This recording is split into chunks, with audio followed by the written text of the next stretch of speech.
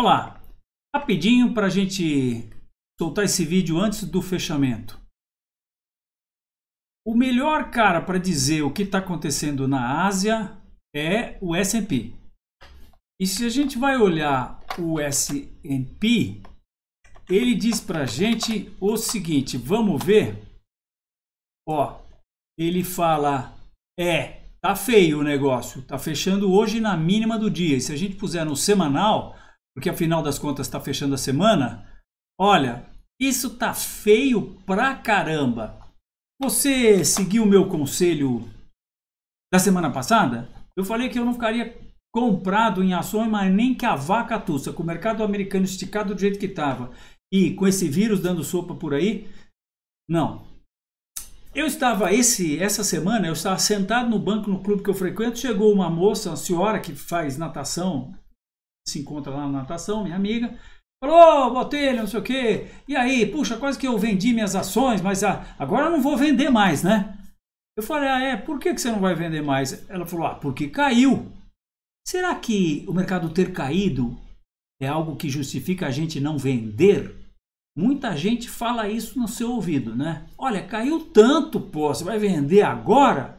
Como se o mercado de ações só subisse. Olha, o pessoal está mal acostumado, o mercado está subindo há 12 anos, mas o mercado não só sobe, ele sobe, desce, sobe, desce, sobe, desce. Por acaso, a intervenção que o, mercado, que o governo americano fez nos mercados eh, econômicos mundiais, na economia americana, que influencia a economia mundial, fez com que os mercados subissem durante 12 anos, que é um negócio completamente fora da curva. Muito bem, eu quero falar para você que existe uma armadilha psicológica que está espreitando a gente dentro do mercado, que eu chamo de armadilha de topo e que eu conto nos cursos uh, que eu falo. É a armadilha do chamada armadilha do topo. E a armadilha do topo é o seguinte, olha, nós não liquidamos as nossas posições na alta. Sabe por quê? Oh, porque o topo não chegou, não chegou no topo ainda. A gente só quer liquidar no topo. A gente tem que saber, entretanto, que a gente não consegue liquidar no topo. Olha, eu tenho raiva de quem liquida no topo. Não gosto de saber topo, não quero saber de topo.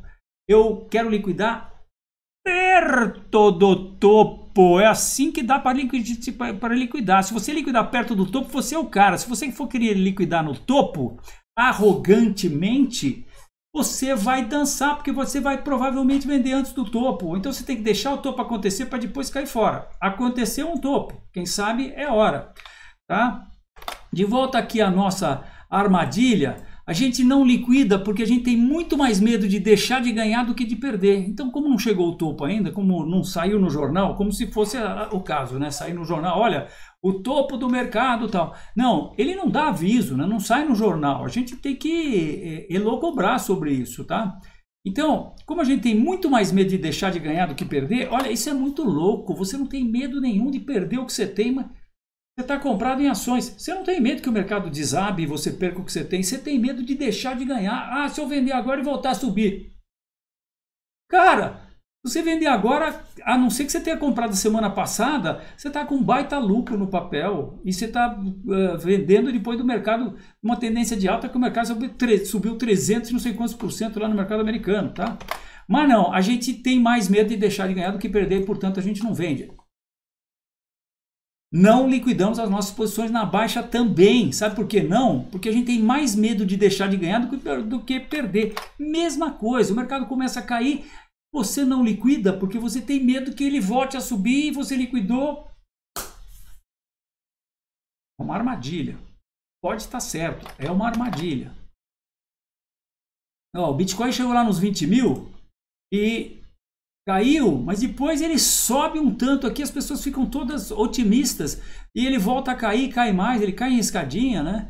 Depois ele faz todo esse processo aqui e no final das contas caiu 83%. Qual é a solução para esse processo? Você tem que se render, meu amigo, porque você não vai vender no topo.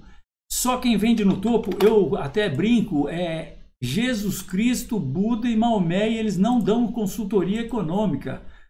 A, a solução, portanto, qual é? Você tem que usar um método, tá? Você não tem a menor ideia de quando é melhor liquidar. Você vai querer liquidar cedo porque é bom liquidar com lucro.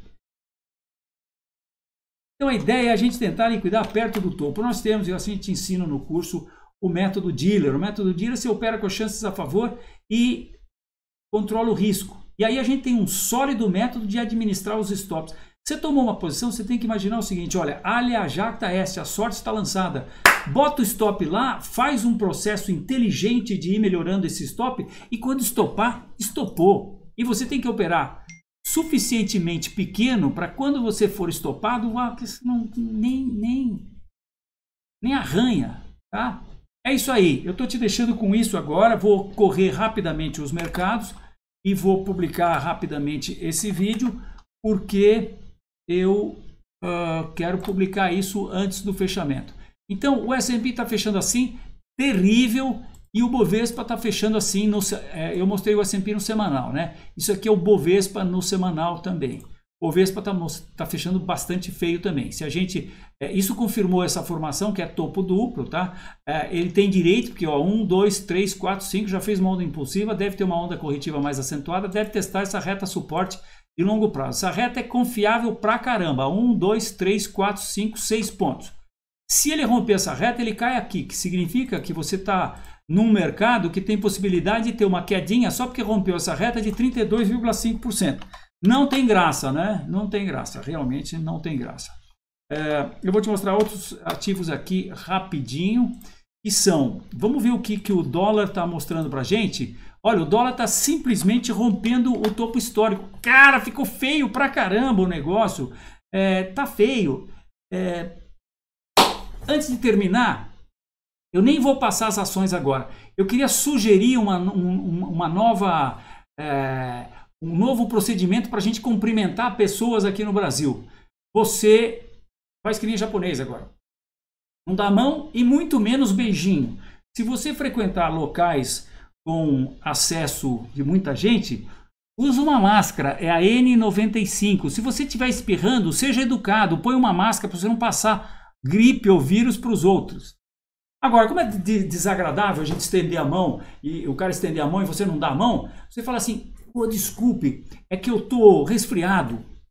Eu tô com, com, com, Acho que eu tô pegando uma gripe, então eu não vou dar a mão. Inclusive, se o cara insistir, você fala, é, pois é, inclusive eu tenho um amigo que, um amigão meu que teve comigo agora, que acabou de voltar da China. Aí o cara dá um passo para trás, ele nem pensa mais em te beijar nem nada, tá?